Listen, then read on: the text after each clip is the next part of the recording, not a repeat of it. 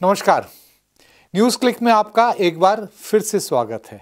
आप देख रहे हैं हमारा बहुत ही खास कार्यक्रम, इतिहास के पन्ने मेरी नज़र से।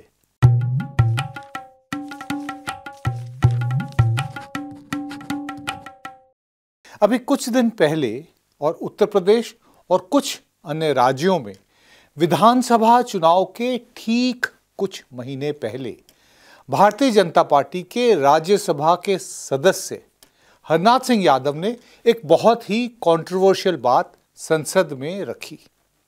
शून्यकाल के दौरान हरनाथ सिंह ने कहा, सरकार को places of worship act special provisions को रिपील करने के कदम उठाने चाहिए। He said the law just not violates the constitutional principles of equality and life, but also the principles of secularism. That is why it should be annulled. ये एक विडंबना थी कि भारतीय जनता पार्टी के एक सदस्य ने सेक्युलरिज्म को संविधान की प्रियम्बल और बेसिक स्ट्रक्चर ऑफ़ कॉन्स्टिट्यूशन का एक अभिन्न अंग बताया लेकिन फिर हम सभी जानते हैं, भारतीय जनता पार्टी के लिए सेक्युलरिज्म आपकी और हमारी समझ से बिल्कुल अलग है। हरनाथ सिंह रेफर टू दो section in the act that make it clear that the religious character of a place of worship shall continue to be the same as it was on the fifteenth of August 1947 यह कानून सितंबर 1991 में PV Narasimha Rao सरकार द्वारा पास किया गया था। It said no person shall convert any place of worship of a particular religion into one of a different faith और section Singh ने दावा किया, हरनाथ सिंह की बात कर रहा हूँ, यह कानून फॉरेन इन्वेडर्स द्वारा निर्मित श्री कृष्ण जन्मभूमि और अन्य पूजा स्थलों पर जबरन कब्जे को लेजिटिमाइज करता है। उन्होंने आगे कहा places of worship act Shri Ram और श्री कृष्ण के बीच में डिस्क्रिमिनेट करता है, जबकि दोनों विष्णु के अवतार हैं। विपक्षी नेताओं ने इस बात का विरोध किया। उन्होंने विषय को उठाने की अनुमति देने के अध्यक्ष के फैसले पर भी सवाल उठाया। Despite protest from opposition ranks several other members from the treasury benches were also allowed to express support for Harnath Singh Yadav demand ये पहली बार नहीं थी, जबकि हरनाथ सिंह ने ये मांग की। नवंबर 2019 में सुप्रीम कोर्ट के अयोध्या फैसले के बाद वे भगवान कृष्ण के वेश में संसद पहुँचे थे। फैंसी ड्रेस पहन के।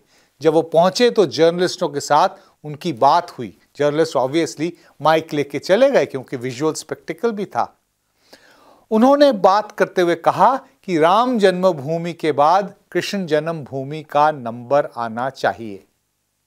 उस समय लेकिन उन्होंने प्लेसेस ऑफ़ वर्शिप एक्ट को रिपील करने की मांग नहीं की।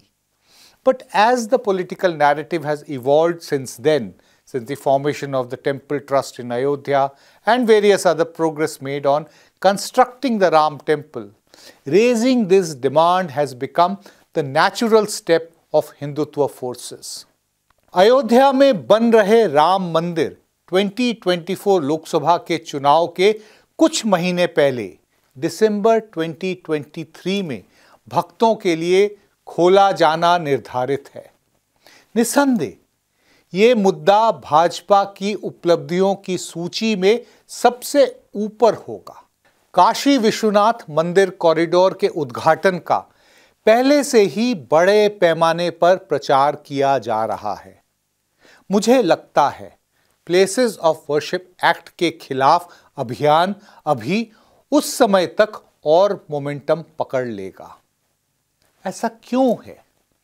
दरअसल, वाराणसी में ज्ञानवापी मस्जिद और मथुरा में शाही ईदगाह सहित सभी तीर्थ स्थलों को यह कानून सुरक्षा प्रदान करता है। 15 अगस्त 1947 को जिस स्थिति में वे थे, उसी कंडीशन में उनको रहने के लिए प्रोटेक्शन मिलती है। So the question is what is this places of worship act and under what circumstances was this law passed why is it essential for this law to remain in our statute books why is the fight to prevent it from being repealed so essential for maintaining india's secular character मोटे तौर पर यह कानून को PV Narasimha Rao सरकार ने अयोध्या मुद्दे को बाकी ऐतिहासिक धर्म स्थलों पर विवादों से इंसुलेट करने के लिए सितंबर 1991 में पास किया था। भारतीय राजनीति में यह वह दौर था जब राम जन्मभूमि आंदोलन अपने चरम पर थी। The places of worship act enacted in 1991 aimed to simultaneously assuage sentiments of Hindus while providing an assurance to Muslims. The law kept the door open for constructing the Ram temple at a later point by keeping it outside the ambit of the law. On the other hand, it reassured Muslims that other places of worship claimed by the Hindu fringe would be safeguarded by the state. Babri मस्जिद राम जन्मभूमि मुद्दे को लंबे समय तक unresolved रहने के कारण places of worship act के दायरे के बाहर रखा गया था।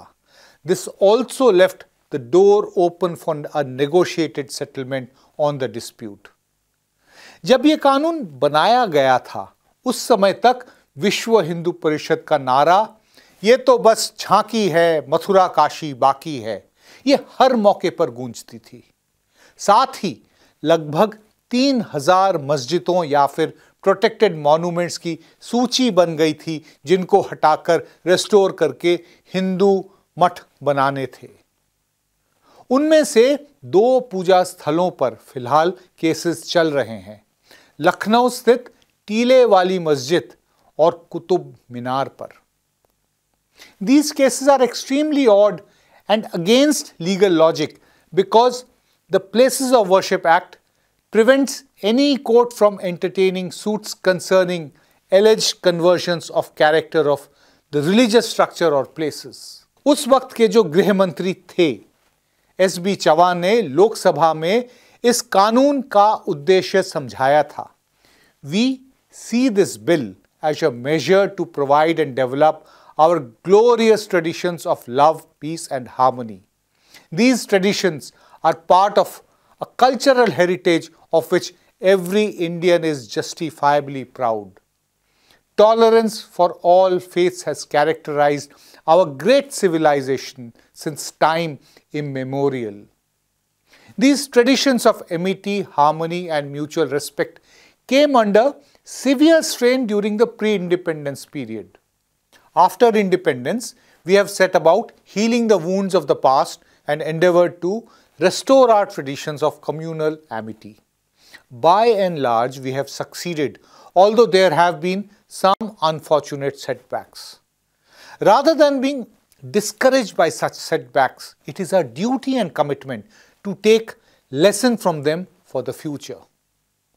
उस वक्त के BJP fire brand leader Uma Bharti जो आजकल बिल्कुल आउट ऑफ फेवर हैं उन्होंने बिल पर पार्टी की ऑपोजिशन को संसद में लीड किया था उन्होंने कहा था by maintaining the status quo of 1947, you are following a policy of appeasement तुष्टिकरण These disputes are wounds and marks of slavery on Bharat Mata. Till Gyanvapi Mosque continues in its present condition at Banaras, it will remind us of atrocities perpetrated by Aurangzeb. CPI MP Malini Bhattacharya was among those to back the bill. She stated, August 15, 1947 is crucial because on that day we emerged as a modern, democratic and sovereign state. She added, the state has no official religion and gives equal rights to all different religious denominations.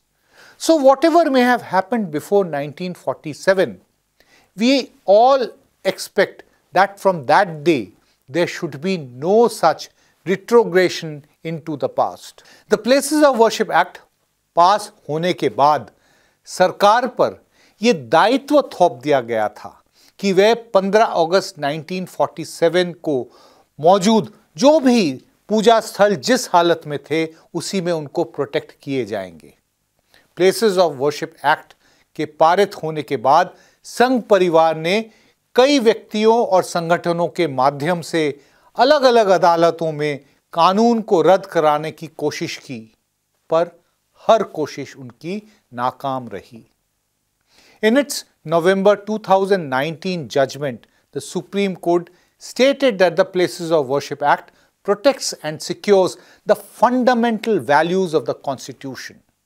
The five judges said that Parliament passed this law in 1991 for the following reason. The judgment said Parliament determined that independence from colonial rule furnishes a constitutional basis for healing the injustices of the past by providing the confidence to every religious community that their places of worship will be preserved and their character will not be altered. The judges observed that secularism is one of the basic features of the Constitution and the 1991 law was a vital step towards progress and harmony.